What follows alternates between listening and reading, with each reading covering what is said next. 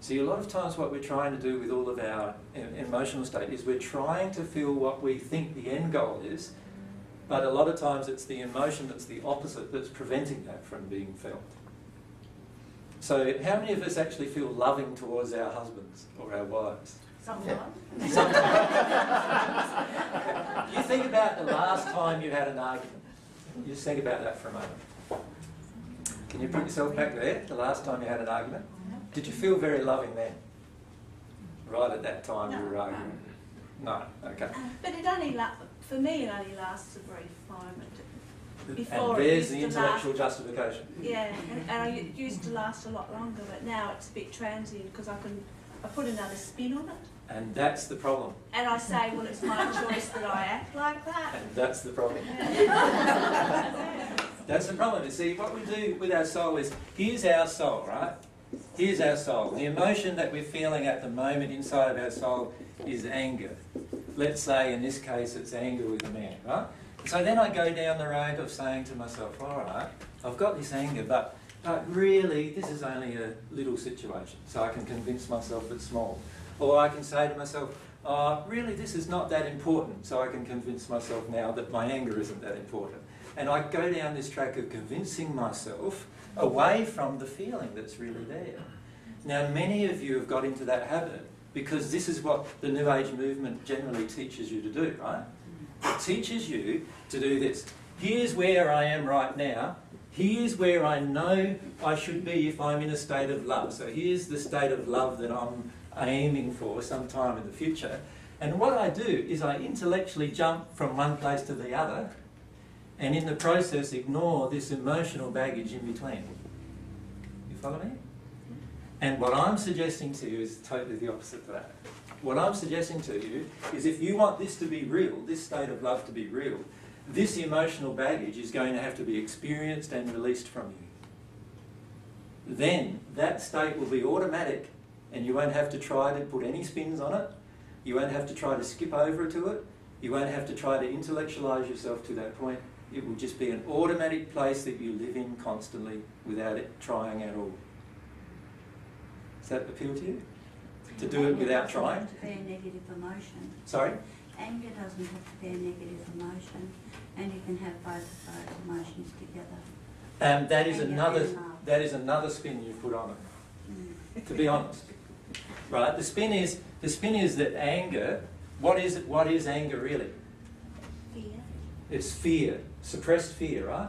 So the truth is that when I'm in a state of anger, right? Here's my anger. I have already put a cap on my fear. Yeah. Right? I've already done that. Now, what do, how does God want you to live your life? To put a cap on any emotion? No. No. So let's say, what is my fear? Yes. That is where I've put a cap on something else that I don't want to experience. Let's say it's terrible, like, how to spell grief? Grief. Right? Right? So what I'm doing with my life, if, if I say to myself, oh, anger's not such a bad thing, and I'm not saying it's a bad thing or a good thing, I'm just saying it's there, it's present, and it means that I've already suppressed myself. I've already suppressed my soul if I'm in a state of anger, no matter what anger I'm feeling. It might be just a smidge of frustration. It might be just a smidge of annoyance, but it's still a suppression. You follow me? Hmm. And because I've suppressed what's underneath, which is some fear about feeling some deeper emotions underneath, and underneath there, there might be terrible feelings, like really dark feelings of, I feel like I'm empty inside, right? Or I feel like I'm unworthy inside, or, you know, some really big, dark emotions might be there. And what we have a tendency to do then is just cover that one with that, cover that one with that, cover that one with that, and then tell ourselves that that's fine. I, I still think that I think that you can have all of those things and acknowledge all of those things, um, and still have love as well. No, well, the truth is, right at that moment, while this is in you, if you you can acknowledge them, but uh, but at them, if you're not choosing to experience them, then what's happening is the world is experiencing them for you.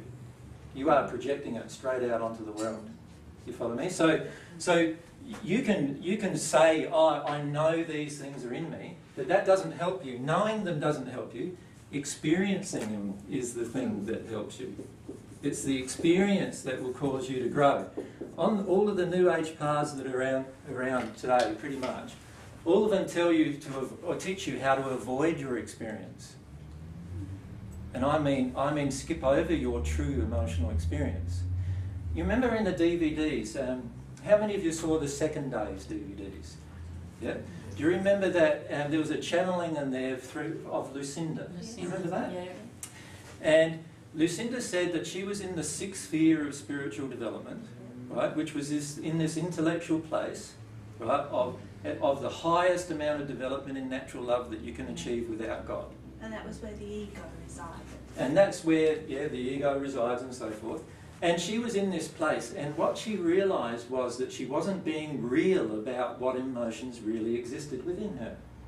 And she had to actually go down to a place in the third sphere where she learnt what emotions were within her. Mm. And when she learnt what emotions were, were within her, she was quite surprised because she had intellectualized herself over them. You follow me? Mm. And what I'm suggesting to you is don't do that. Mm. Don't do that. It's a fictitious progression. It's not real. Now, you can feel that a lot when you go to different places or different people, groups of people, and you can feel sometimes, can't you? Mm. That hang on a sec, this person's got a nice, happy face. They, they seem like they're acting nicely towards me, but I can feel this really yucky thing coming from them at the same time. What's that? Mm. Right? You notice that sometimes how it feels mm. fake? Yep. Well, you need to trust that it is fake. And it's fake because the person has skipped over their experience and manufactured a condition of love intellectually, but there's no, there's, there's all these bottled up emotions suppressed in there as well. And with God, you're not going to be able to do that, which is fair enough, isn't it? Mm. Like, don't, do you think God would want you to do that in the end? Mm. God would want you to just feel everything you feel